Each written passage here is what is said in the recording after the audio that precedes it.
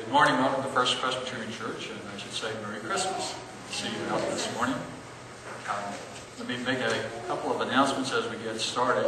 Uh, Obviously, we're starting at 11 o'clock this morning, and we will do the same next Sunday as well, uh, New Year's Day. So uh, please come at 11 o'clock rather than 9:30. And then after that, the following Sunday after that, we will return to our regular schedule of services at 9:30. So please keep that in mind.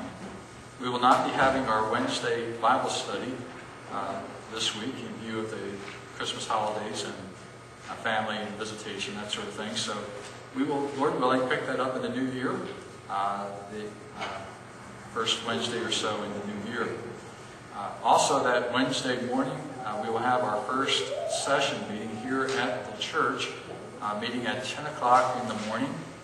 And so session members that. Um, we are putting together a new class for those who are considering membership at, at First Presbyterian Church, and we do have uh, a handful of people who are interested in uh, taking part in that. Uh, we want to encourage others also uh, to get involved in that uh, as uh, time goes on. I hope to start that in January, and we'll work out the details of that in a little bit. We had a wonderful night last night. We had over 30 people, I believe, uh, at our Christmas Eve service. We had a great time of fellowship and uh, worship. And uh, so today we are picking up on that. And uh, we'll begin our worship with our call to worship from Psalm 27, verses 1 and 4. The Lord is my light and my salvation. Whom shall I fear? The Lord is the stronghold of my life. Of whom shall I be afraid? One thing I ask from the Lord, this only do I seek, that I may dwell in the house of the Lord all the days of my life, to gaze on the beauty of the Lord and to seek him in his temple. Mr. Joseph Waggoner will introduce our first hymn.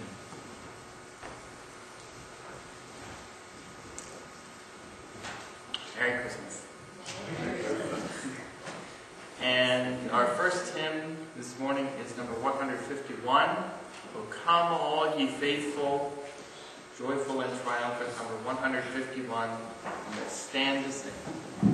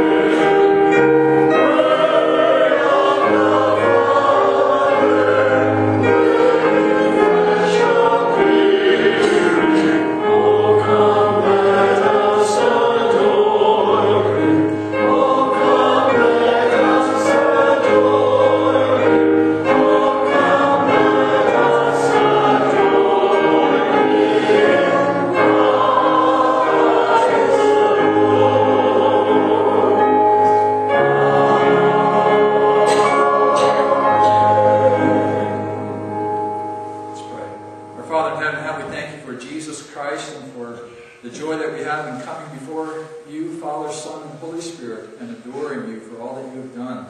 We pray that your Spirit would bless our fellowship together, that we would grow in Christ, be strengthened by his love, and equipped to serve you in your world today. We thank you for this day where we remember our Savior's birth. We pray for your blessing on us. We ask it in Jesus' name. Amen. Grace to you and peace from God our Father and the Lord Jesus Christ. Let's remain standing and we'll confess our faith together in the words of the Nicene Creed.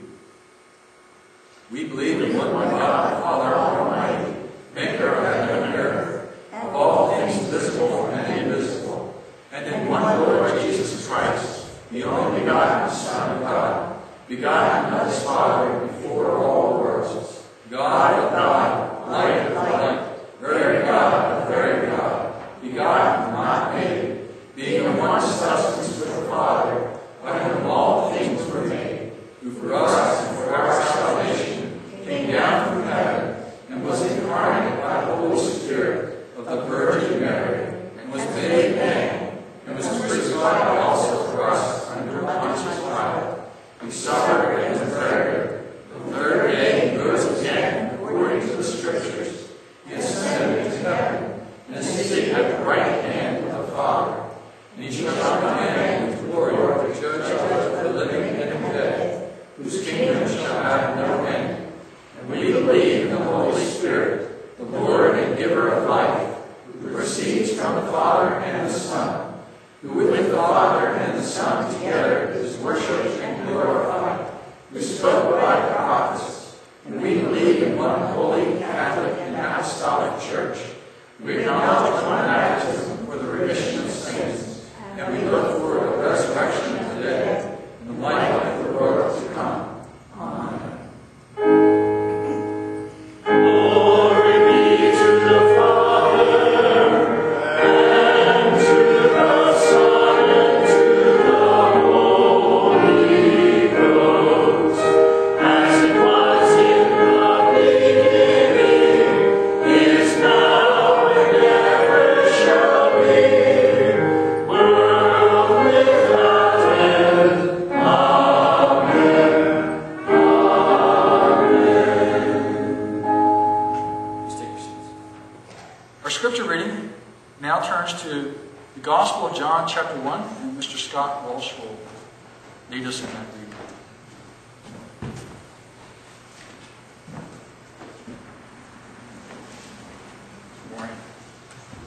This morning's scripture reading is John 1, verses 1 to 18, and it's found on page 1049 of your Bible.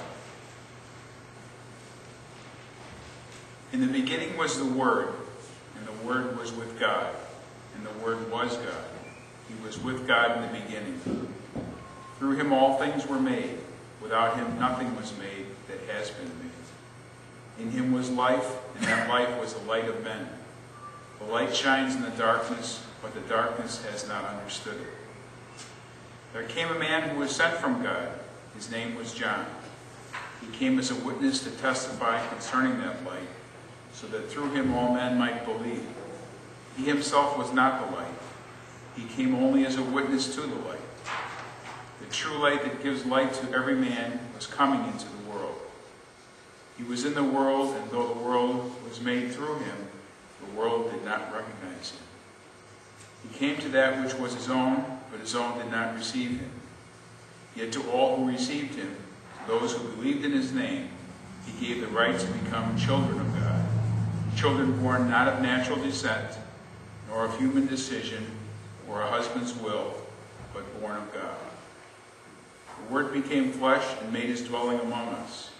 We have seen his glory, the glory of the one and only, came from the Father, full of grace and truth. John testifies concerning him. He cries out, saying, This was he of whom I said, He who comes after me has surpassed me, because he was before me. From the fullness of his grace, we have all received one blessing after another.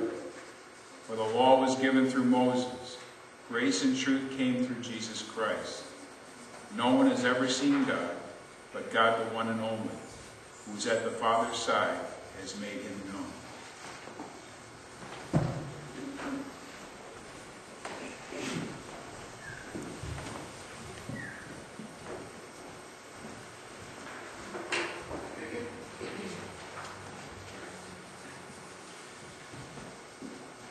Our next hymn, number 152, O Little Town of Bethlehem.